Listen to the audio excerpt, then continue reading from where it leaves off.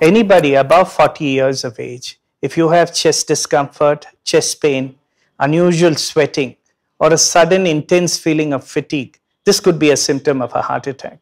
Or at any age group, if you have what we call risk factors of a heart attack, high blood pressure, diabetes, smoking, or a family history of heart disease, I think any of these symptoms at any age should be a warning signal to you to tell you to go to a hospital and get an ECG done. Don't feel that this is not the right time, it's the middle of the night, I can't, how will I go to a hospital? But I think if you waste time, and I think you must understand that the treatment of a heart attack is critical within the first one hour. The second thing that I think you must remember is not to drive yourself when you have these symptoms. Especially if you are driving a two wheeler, do not drive yourself to the hospital. So, if you are a person who has a risk factor to develop a heart attack, keep an aspirin at home.